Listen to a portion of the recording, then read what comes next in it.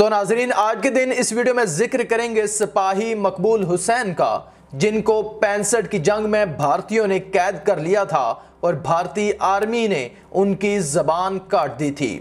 ناظرین، یہ ویڈیو دیکھنے کے بعد آپ ان کا دکھ اپنے سینے میں محسوس کریں گے اور ایک پاکستانی ہونے پر فخر بھی کریں گے کہ جہاں مقبول حسین جیسے سپاہی پیدا ہوتے ہیں۔ ناظرین، ستمبر دو ہزار پانچ کو واگا بارڈر کے رستے بھارتی حکام نے قیدیوں کا ایک گروپ پاکستانی حکام کے حوالے کیا۔ اس گروپ میں مختلف نوعیت کے قیدی تھے۔ ان کے ہاتھوں میں گٹھڑیوں کی شکل میں کچھ سامان تھا جو شاید ان کے کپڑے وغیرہ تھے۔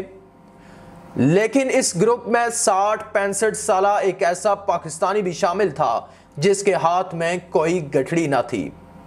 جسم پر ہڈیوں اور ان ہڈیوں کے ساتھ چمٹی ہوئی، اس کی کھال کے علاوہ گوشت کا کوئی نام نہیں تھا۔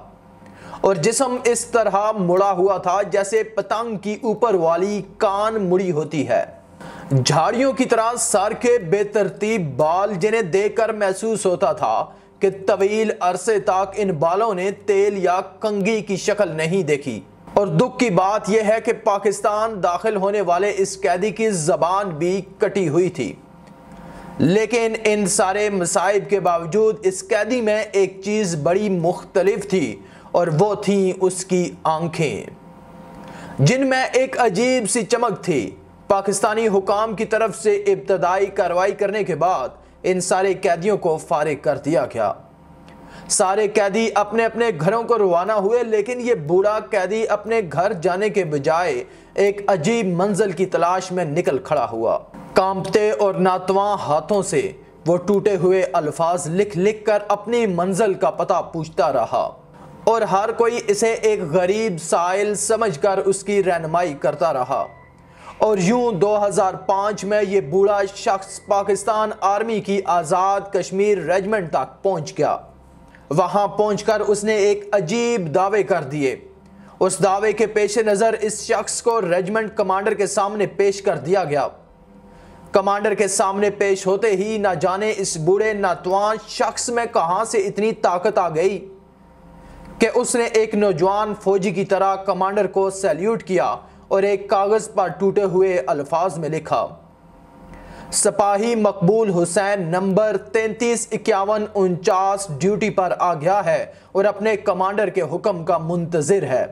کمانڈر کو کٹی ہوئی زبان کے اس لاغر، ناتواں اور بدحواس شخص کے اس دعوے نے چکرا کر رکھ دیا۔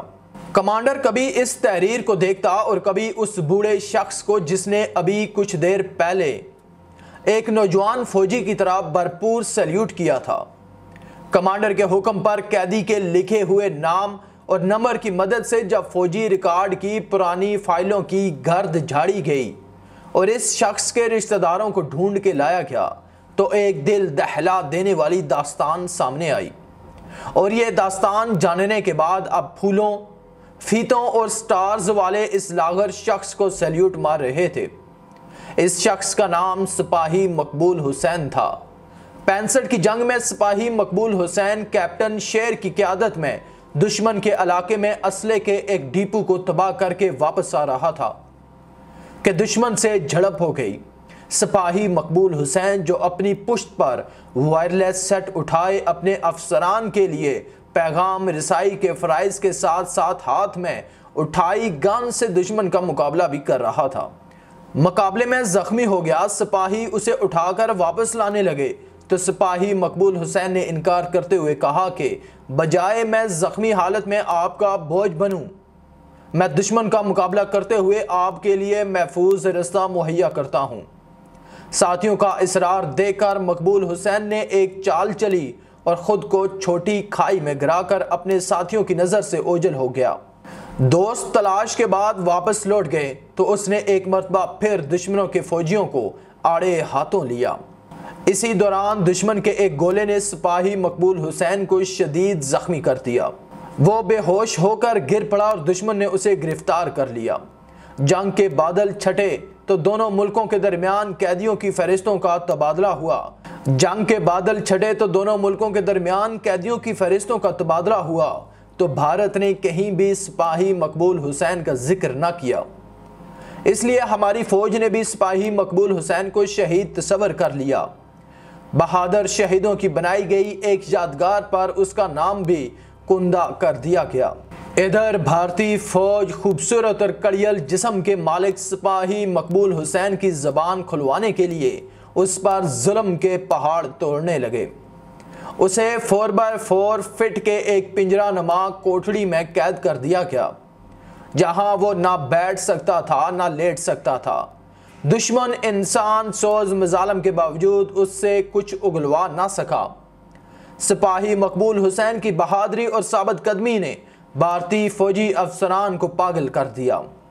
جب انہوں نے دیکھا کہ مقبول حسین کوئی راز نہیں بتاتا تو وہ اپنی تسکین کے لیے مقبول حسین کو تشدد کا نشانہ بنا کر کہتے، کہو پاکستان مرد آباد اور سپاہی مقبول حسین اپنی ساری توانائی اگٹھی کر کے نعرہ مارتا، پاکستان زندہ باد.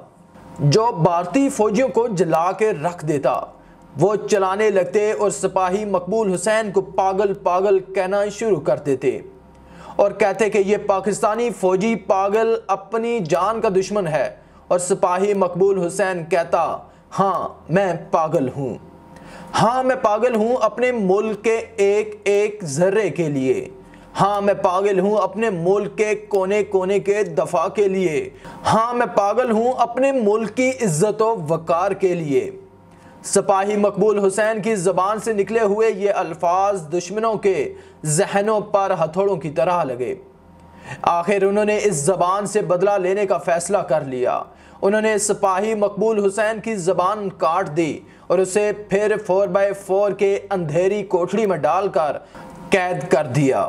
ناظرین، سپاہی مقبول حسین نے انیس سو پینسٹھ سے لے کر دو ہزار پانچ تک اپنی زندگی کے بہترین چالیس سال اس کوٹڑی میں گزار دیے۔ اب وہ کٹی زبان سے پاکستان زندہ باد کا نعرہ تو نہیں لگا سکتا تھا۔ لیکن اپنے جسم پر لباس کے نام پر پہنے چیتھڑوں کی مدد سے چار بائی چار فٹ کوٹڑی کی دیوار کے ایک حصے کو صاف کرتا اور اپنے جسم سے رستے ہوئے خون کی مدد سے وہاں پاکستان زندہ باد لکھ دیتا۔ یوں سپاہی مقبول حسین اپنی زندگی کے بہترین دن اپنے وطن کی محبت کے پاگل پن میں گزارتا رہا۔ آئیے ہم مل کر آج ایسے سارے پاگلوں کو سیلیوٹ کرتے ہیں۔ یہی پاگل تو ہمارے اصل ہیروز ہیں۔ پاکستان زندہ باد، پاک فوج زندہ باد۔